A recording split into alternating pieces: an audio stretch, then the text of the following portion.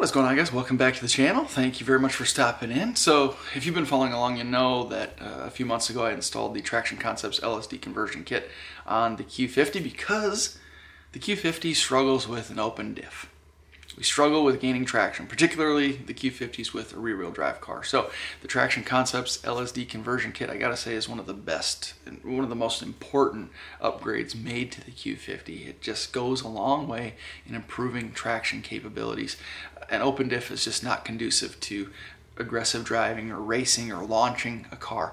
Um, so it, an LSD or this Traction Concepts kit is just a, a great option uh, particularly the Traction Concepts Kit is a great budget-friendly option uh, to help you maximize your traction and actually increase the performance of your Q50 overall. But I gotta say that I get a lot of questions on those LSD videos or the posts that I make on uh, Instagram or, or TikTok. Uh, people always ask, and I think the questions come from just sort of a maybe a misunderstanding or a lack of understanding uh, as far as what an LSD actually is. So some of the questions are, what's it like to daily a Q50 with this kit installed? Or I would know comments come across like, oh, I wouldn't want to drive a, a, car with an LSD. And I think, again, it comes from a little bit of a confusion or a little mis misunderstanding. People thinking that an LSD or this Traction Concepts kit is like a welded diff, right? And they're totally different things. So welded differential actually welds both axles together essentially and that makes both of the rear wheels turn at the same rate all of the time. They are connected, they are welded, right? Welded in the differential.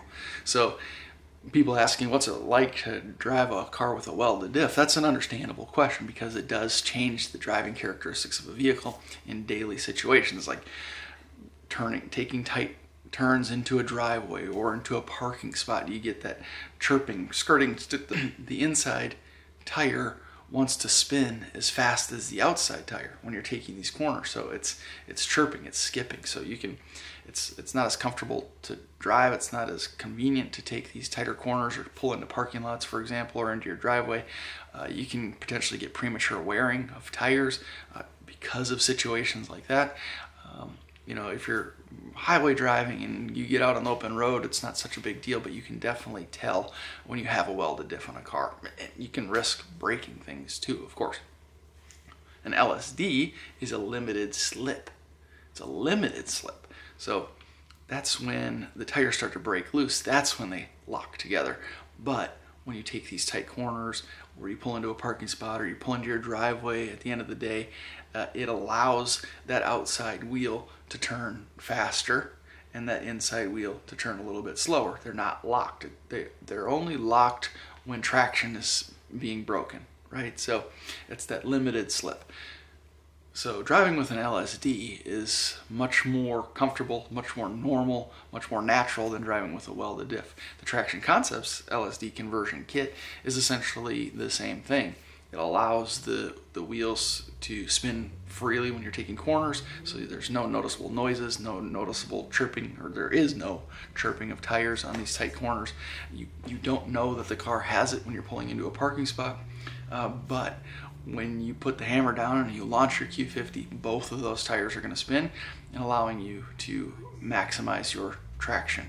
Um, you know, when with an open diff, if you try to launch the Q50, particularly a rear wheel drive Q50, it's going to put all the power to the wheel that is spinning.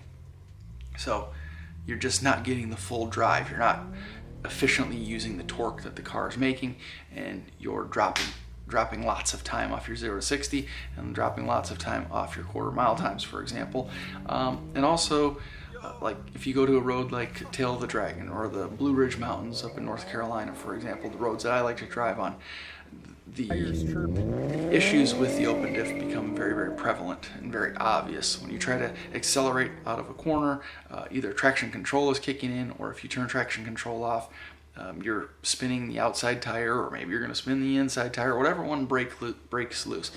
That can be very unpredictable.